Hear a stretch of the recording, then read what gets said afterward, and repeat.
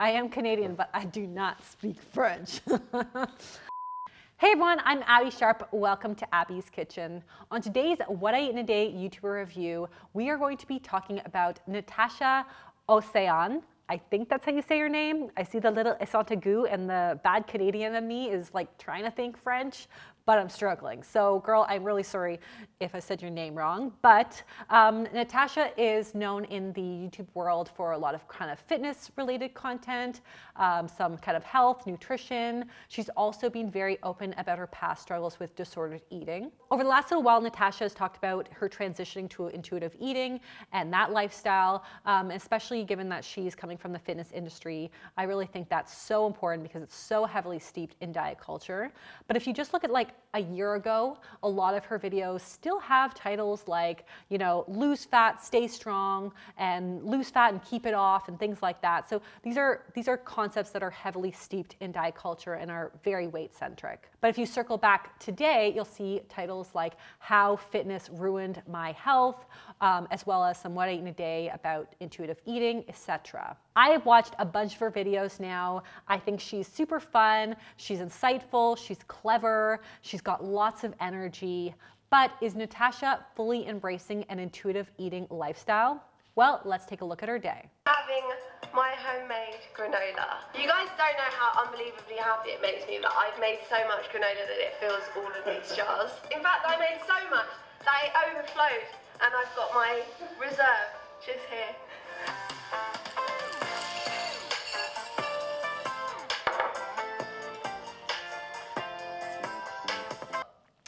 So love granola. That looks delicious. It actually looks a lot like the granola that I have in my cookbook, the Mindful Glow cookbook. So I'm loving it. Also, it looks like there's chocolate in there, so looks like a good start to the day. But yeah, she's got some slow digesting carbs and some fiber from the oats and the fruit and the nut butter in there. Um, also, that's gonna keep her satisfied longer and help stabilize her blood sugar. I also see that there are some healthy fats in there from the peanut butter. Also, peanut butter is life, let's be real. I think if I was being like really nitpicky, I would say she could have a little bit more protein for her breakfast because um, research has shown that it may help to reduce mindless snacking. Um, and also just kind of provide that satiety factor. I think a lot of people struggle to get enough protein at breakfast and then they really kind of have a massive portion of protein at lunch and dinner when really the maximum amount that our bodies can utilize for muscle protein synthesis is about 30 grams per meal or snack. So I really do like to see us spacing things out.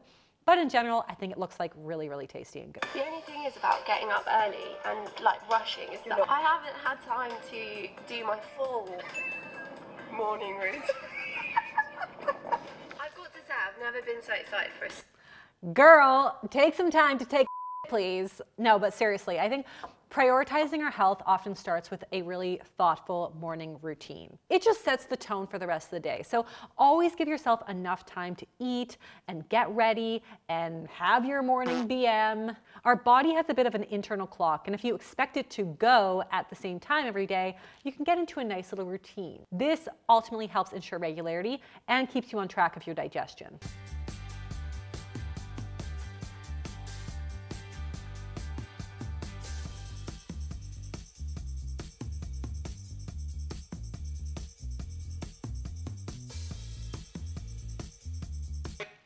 Okay, so I like skipped through a bunch of stuff that did not involve food, and I don't know what time it is right now when she's doing her workout. It seems like a lot of time has passed since she had her granola, and I don't know about you, but I could not be squatting that matrix or whatever the heck she's doing without any real protein in the morning. I'd probably be really, really hangry by now. Now, whatever time it is, my recommendation is before a workout, you wanna have a meal about one to two hours before you work out so that you don't get too crampy. Ideally something with some combination of carbohydrates and protein. If it's gonna be a, a lot longer before you get to train, then you could have a small snack beforehand, ideally something with some carbohydrates, just to give you a little boost of energy, and then focusing on the carbohydrates and the protein post-workout. So in Tasha's case, that granola that she had would make an amazing pre-workout snack.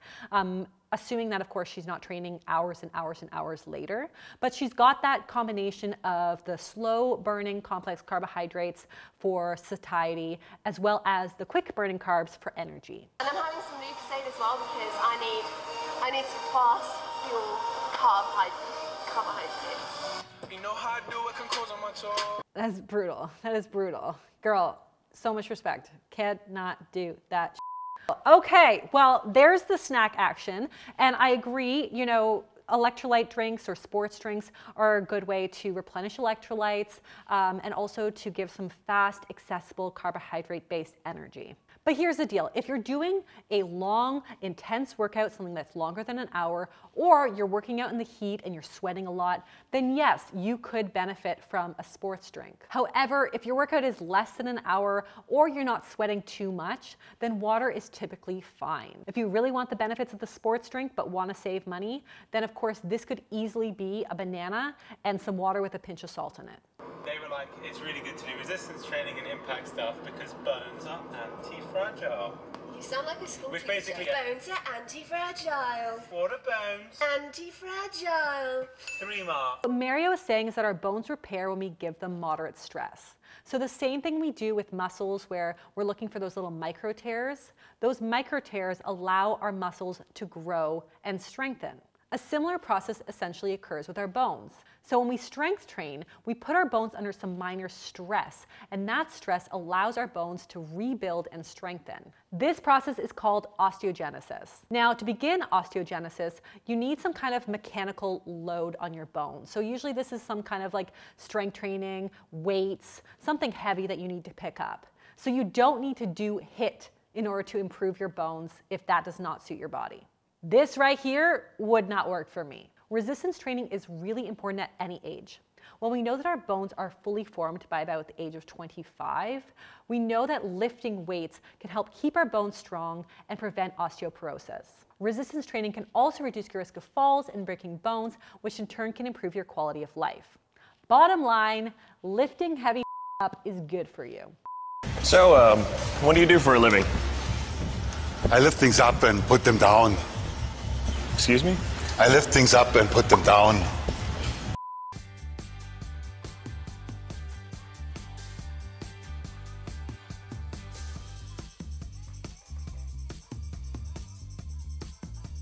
Love, love, love poke bowls. I mean, bowls are super trendy, and I admittedly Uber Eats these pricey little way more than I should, but I love them because they're inherently pretty well balanced. You've got your protein, your veggies, your fat, and your carbs. And the protein is particularly important post workout to help prepare and build muscles. And she's getting an ideal amount, about 30 grams, which is really the optimal amount that our body can utilize for muscle protein synthesis. I also love that she's not skimping out on the carbs. I think a lot of people think that post workout is just about the protein, but carbs actually elicit a little bit of an insulin response that helps drive the protein into the muscle to help aid in recovery faster. So I love it. All right, let's hit up another snack.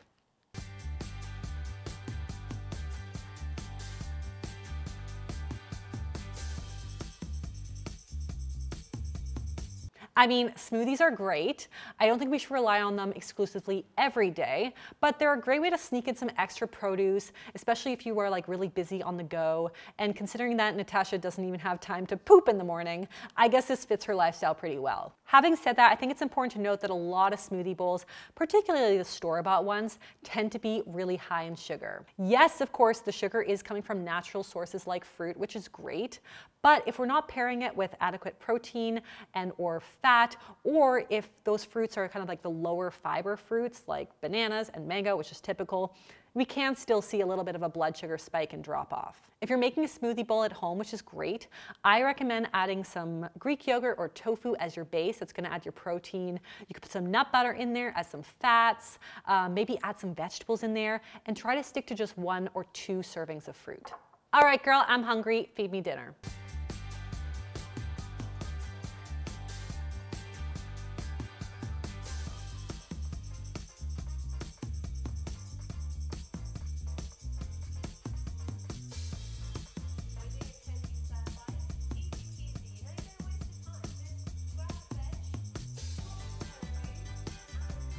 This looks so good. I love that Natacha is adding so many colorful vegetables to her stir fry here. We got carrots and peppers and chilies and, and pak choi, so much good stuff going on. Um, I also love that she's got some plant-based protein in the form of tofu here. Um, really, really great source of protein. And I think a lot of people have concerns about soy, but I want you to know that the research has found that it is completely safe. Soy contains compounds called isoflavones, which is a type of phytoestrogen that mildly mimics our body's natural estrogen. However, there's no strong evidence to suggest that consuming foods that are rich in soy causes any kind of hormonal diseases or disruptions or any other side effects. In fact, some research suggests that it may actually have a protective effect against diseases like heart disease and some types of cancer, like prostate, ovarian, and breast cancer. I have a whole video all about that right here. This looks like a pretty well balanced meal to me. We've got some protein and some fiber that'll help keep us satisfied, um, and some carbohydrates from the glass noodles. It looks totally yum. I really like the Natacha experiments in the kitchen. Um, I think that healthy eating does not need to be complicated. It does not need to look like an Instagram worthy dish every single night. And I also think it's a fun way to kind of bond with your partner, um, try new foods, and get away from eating the same thing every single night. One. Two. Hang on. This needs a glass of milk. You need a chair for a glass. Yeah, because it's not just any glass. Oh.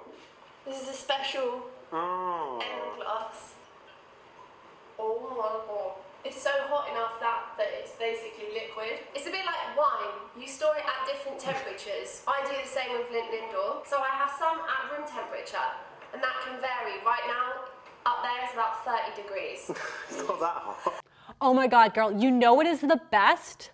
Put a caramel bar in the freezer, and then when you take it out, you put it in your mouth frozen, and like the caramel kind of heats up and explodes in your mouth. My grandpa used to do it all the time, and every single time I have a caramel bar, I think of him. Just I, I need to, I need to try it. Girl, do this with me now. If I can get into it, it'll all be okay. Wait a minute. Come in. Oh god, this Oh god. Everyone's laughing. This is the best, best film day ever. All right. Moving along. Okay, but seriously, Natacha has definitely made a lot of improvement in her relationship with food. I love that she is like fully invested in her chocolate game.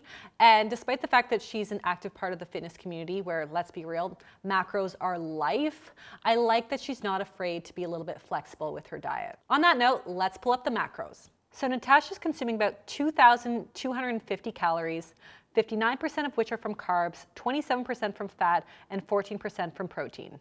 So let's talk about what we like about Natacha's day. So first of all, it looks like she's getting enough calories. Natacha is an active girl. And I mean, those workouts look super, super tough. And I love that she's not afraid to eat in a way that fuels her body and supports her workouts. Number two, she's got a great varied diet. I love that I'm seeing a nice wide variety of foods and nothing is specifically or explicitly demonized here.